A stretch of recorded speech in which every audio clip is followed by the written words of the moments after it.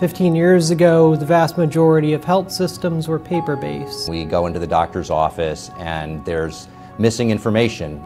A lot of the records when I see a new patient from the community come in scanned in as, as documents, as PDF files. So the lack of interoperability has, has significant impacts. It's very challenging.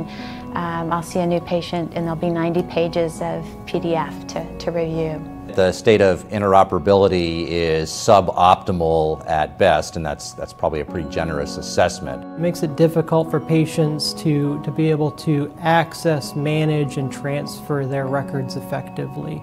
The real challenge is that you're going to be missing something. I was speaking with uh, one of our patient navigators about a patient who came from another institution for a second opinion uh, with us. When she arrived, it was clear that we didn't have the key information that we needed. It was very frustrating for the patient and the physicians because our ability to give a good informed opinion was postponed and delayed by, by that lack of information. So mCODE really addresses the issue of, of what's the critical data that's needed to effectively care for a patient and really allows us to, to establish a common language for cancer. ASCO was one of the founders of the mCODE initiative and uh, we brought together a group of uh, experts and we uh, provided the thought leadership that allowed uh, this data specification to go forward in the first place. So MITRE's role in mCODE is that, that really we're providing the, the technical expertise. We've established the first version of the standard.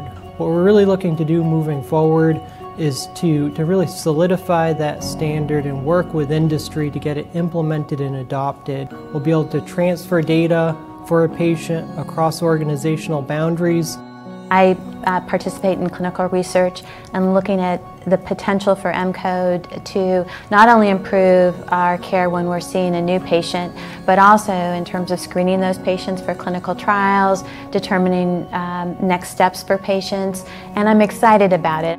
Once we have interoperability, it opens the doors to new technologies, new processes that just aren't possible today. The mCODE data specification has been freely available for download by anyone since June of 2019.